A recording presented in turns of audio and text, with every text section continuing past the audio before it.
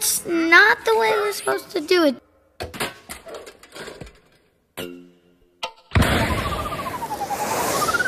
Everybody stay back, okay? Stay back!